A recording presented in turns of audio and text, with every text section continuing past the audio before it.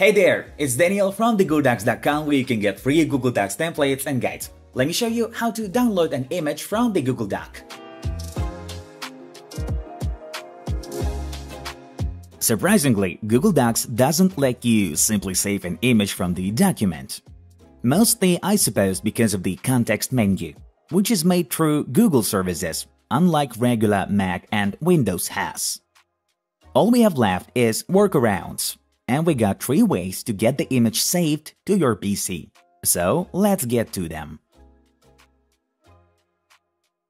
The first workaround is performed via Google Keep Notes, a standard service we have along with Google Docs and other Google services. So this is how we use it. We select the image, right mouse click on it, and in the context menu, we locate and press Save to Keep.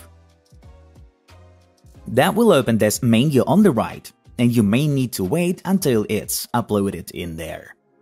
Once it is here, right mouse click on it, and here you have your regular context menu, where you, as usual, can open the image in a new tab in the browser, save it to your computer, and copy it for further use.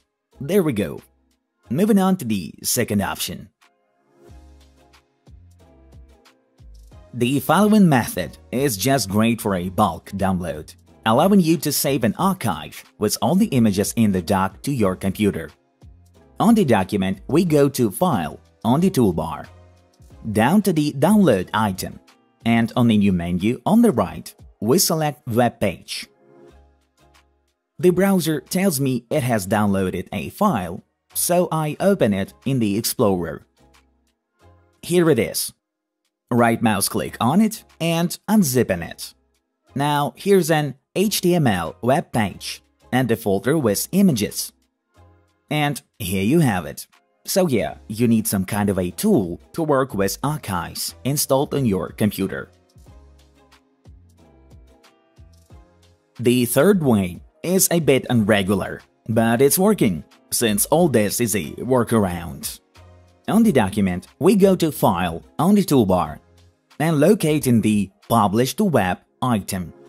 Pressing it, and in the new window, we simply press on the Publish button. Then confirming it on top. And here we have link that we copy, creating a new tab in the browser and pasting that link to the address bar.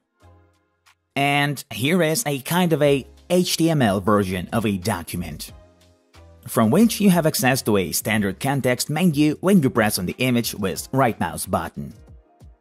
Open the image in a new tab in the browser, save it to your computer, and copy it. And that was the final option hundreds more guides and a lot of free Google Docs templates on the thegoodocs.com following the link below the video. Like to help share our videos to more people and subscribe to see more guides. I hope we helped you. Thank you for watching.